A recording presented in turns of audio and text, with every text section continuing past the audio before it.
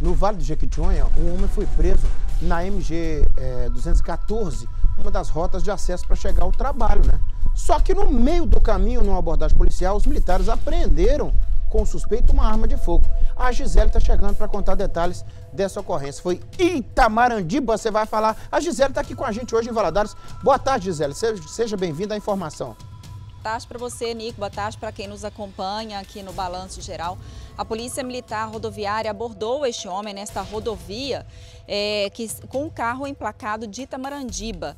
E este homem ele ficou nervoso quando percebeu que estava sendo notado pelos policiais. Os militares rodoviários acabaram fazendo buscas no interior do veículo e debaixo do banco encontraram uma pistola 9mm enrolada em um tecido. Uh, este homem não apresentou aos policiais qualquer tipo de documento relacionado a essa pistola, muito menos é, o porte de armas. Ele foi conduzido para a delegacia de polícia civil e tendo a arma apreendida. Agora ele vai ter que dar explicações, né, Nico? Porque que andava com essa arma debaixo do banco e ainda sem a documentação necessária e sem o porte. Eu volto com você, Nico. Sim, Gisele. Inclusive tem uma guia, né? A, a guia de trânsito, a guia de tráfego. Obrigado, Gisele, pela informação. Só ainda sobre essa notícia, deixa a arma aí na imagem aí. É, tem uma guia específica, né? A guia de trânsito ou de tráfego. A pessoa tem que ter é, posse, né?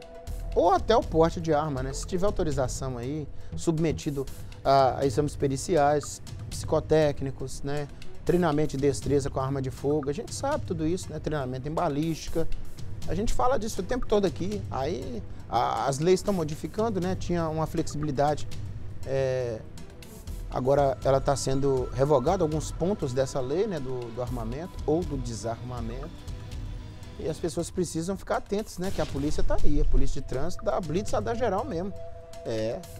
Meu amigo Araújo, tamo junto, garoto. Subtenente fera, isso aí.